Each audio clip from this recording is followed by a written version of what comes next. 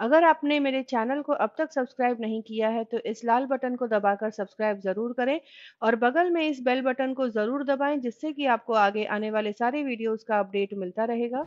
आज मैं बताऊँगी आपको पीटा ब्रेड बनाने की बहुत ही सिंपल और आसान सी रेसिपी, जिसके लिए यहाँ पर मैंने ले लिया है 200 सौ गुनगुना पानी, जिसमें डाल दिया है एक टेबलस्पून चीनी। चीनी को अच्छे से मिक्स कर लें, इसके बाद इसमें मैं डाल दूँगी डेढ़ tablespoon dry active yeast तो इसे सबसे पहले हमें एक्टिव करना है ईस्ट को। तो इस तरह से ईस्ट को डाला मैंने मिक्स किया और इसके बाद इसे करीब मैं 20 मिनट के लिए छोड़ दूँगी। 20 मिनट के लिए इस बर्तन को बिल्कुल भी हाथ नहीं लगाना है। इसे अच्छे से एक्टिव होने दें। अब दूसरी तरफ़ यहाँ पर मैंने ले लिया है दो कप गेहूँ का आटा और आधा कप मैदा। इनको अच्छे से मिक्स कर लेना है। डाल दूँगी नमक स्वाद अनुसार। और ज़रा सा जैतून का तेल इसमें डालूँगी। जैतून का तेल ना हो तो कोई भी अनफ्लेवर्ड ऑयल आप इसमें यूज़ कर सकते हैं। पंद्रह से बीस मिनट हो चुके हैं तो यहाँ पर आप देख सकते हैं कि ईस्ट अच्छे से एक्टिव हो गया है। इसे अब मैं आटे में डालकर अच्छे से मिक्स कर लूँगी। आटा हो सकता है कि हल्का सा गीला हो जाए तो घबराने की बात नहीं है।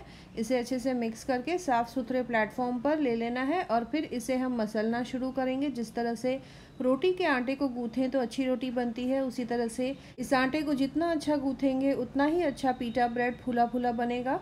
तो यहाँ पर ये देखिए मिक्सचर बन गया है। अब इसे मैं तो यहीं पर इस वर्किंग प्लेटफॉर्म पर ले लूँगी और फिर इसे मसलना शुरू करना है। तो यहाँ पर आप देख सकते हैं, आटा एकदम स्टिकी लग रहा है आपको तो बिल्कुल भी एक साथ सूखा आटा इसमें नहीं डालना है। इस आटे में अभी भी छोटी छोटी गुठलियाँ होती हैं, जिन्हें मसल कर हमें मिक्स करना है। तभी हमारा जो पीटा ब्रेड है एकदम अच्छा और फूला फूला बनेगा। तो इस तरह से इसे करीब पाँच से सात मिनट के लिए मसल लूँगी। इसके बाद थोड़ा थोड़ा करके इसमें सूखा आटा डालना है। एक साथ बहुत ज़्यादा नहीं डालें। तो यहाँ पर मैंने करीब एक चौथाई कप सूखा आटा ले लिया है। तो एक एक चम्मच करके इस तरह से इसमें डालूँगी और आटे में मिक्स करती रहूँगी। थोड़ी देर में आप देखेंगे कि ये पूरा आटा एक साथ आ गया है। सरफेस से अलग हो गया है, यानी कि ये जो वर्किंग प्लेटफॉर्म है, इससे अलग होकर पूरा एक साथ आ जाएगा आटा।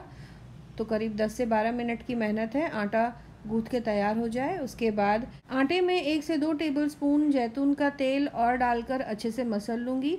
फिर एक बोल में जैतून का तेल लगाकर ग्रीस कर लेना है। आटे को भी ऊपर से जैतून के तेल से ग्रीस कर लें। फिर इसे फर्मेंट होने के लिए करीब एक घंटे के लिए छोड़ दूँगी। एक घंटे में आप देखेंगे कि ये करीब करीब दोगुना हो गया है अपने वॉल्यूम का। यानी जितना आटा है, वो फूल कर करीब दोगुना हो जाएगा। यहाँ पर आप देख सकते हैं कि आटा पूरी तरह तैयार हो गया है, पूरा आटा एक साथ आ गया है। ग्लूटेन भी अच्छे से डेवलप हो गया है तो अब इस बोल को थोड़ा सा जैतून के तेल से ग्रीस कर लूँगी थोड़ा सा जैतून के तेल को आटे पर भी लगा लूँगी ताकि ऊपर से सूखी परत ना जमे और फिर इसे ढक कर करीब एक घंटे के लिए फर्मेंट होने के लिए छोड़ देना है। अब इस बोल को एक क्लिंग रैप से कवर कर लूँगी। बिल्कुल भी हवा इसमें पास ना हो पाए। और इसके बाद करीब एक घंटे के लिए इसी तरह से इसे छोड़ देना है। बिल्कुल भी इसे डिस्टर्ब ना करें। तो इस तरह से अच्छे से क्लिंग रैप लगाकर इसे कवर कर लें। तो यहाँ पर करीब एक घंटे बाद आप देख सकते हैं कि आटा अच्छे से फूल गया है। अब इसे मैं वापस इस वर्किंग प्लेटफॉर्म पर लेकर इसे मसल लूँगी। इसका जितना भी एक्स्ट्रा एयर है बीच में पूरा निकाल लेना है तो हल्का सा सूखे आटे से इस तरह से इसे मसल लेना है। बीच बीच में हाथ को थोड़ा सा डस्ट करें और इस आटे को मसल लें। इसके बाद इसकी छोटी छोटी लोई बना लेनी है। तो यहाँ पर इतने आटे में करीब 12 पीटा ब्रेड आराम से बनकर तैयार हो जाएँगे। अंदर की तरफ़ इस तरह से मोड़ते जाएँ, सारे लोई को इस तरह से तैयार करके फिर इसे हम बेलना शुरू करेंगे। तो ये एक तरीका हो गया पीटा ब्रेड की लोई को तैयार करने का। एक दूसरा सिंपल सा तरीका मैं आपको बताऊँगी। तो हाथों को सबसे पहले डस्ट कर लें और उसके बाद लोई को हाथों में लेकर इस तरह से मोड़ते हुए जाएँ, फिर गोल घुमाकर फिर वो मोड़े। तो एक डायरेक्शन में आपको मोड़ना है और दूसरी तरफ़ से आपको इसे गोल घुमाते हुए हथेलियों के बीच में रखना है। तो ये देखिए, इस तरह से लोई तैयार हो जाती है और काफ़ी सिंपल तरीके से यहाँ पर पीटा ब्रेड की लोई बनकर तैयार हो गई है। अब इन लोई को एक ट्रे में रखकर मैंने एक कपड़े से ढक दिया है ताकि ऊपर से सूखी परत न जमे और अब इसे इस तरह से डस्ट करके बेलना शुरू करना है। सारे पीटा ब्रेड बेल कर तैयार कर लूँगी मैं। एक के ऊपर इसे रख लें और अच्छे से डस्ट करें ताकि ये जो पीटा ब्रेड है वो आपस में चिपके नहीं। फिर करीब 10 मिनट के लिए इसे रेस्ट करने के लिए छोड़ दें। फिर तवा को गर्म करके मीडियम आँच पर पीटा ब्रेड को सेक लेना है। तो इस तरह से हल्के हाथों से पीटा ब्रेड को बेल लें और ध्यान रखें कि बिल्कुल भी इसमें फोल्ड ना आए, नहीं तो पीटा ब्रेड सेकते समय फटने का डर ज़्यादा होता है और इस तरह से सारे पीटा ब्रेड बनाकर तैयार कर लेना है। पीटा ब्रेड का यहाँ आप देख सकते हैं, मैंने थिकनेस रोटी से थोड़ा सा मोटा रखा हुआ है।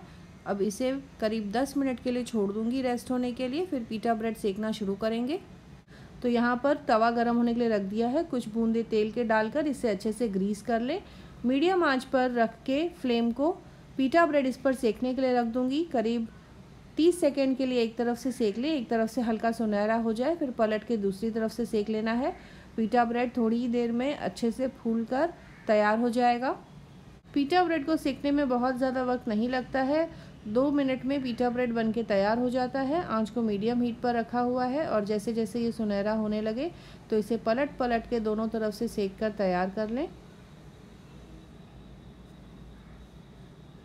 तो ये देखिए पीटा ब्रेड बनकर तैयार हो गया है, एकदम परफेक्ट इसी तरह से पीटा ब्रेड आप बनाएँ और इसे आप फलाफल रैप्स बनाने में यूज़ करें और ये पीटा ब्रेड, ये देखिए, यहाँ पर पूरी तरह फूल के तैयार हो गया है। इसी तरह से सारे पीटा ब्रेड सेक कर तैयार कर लूँगी।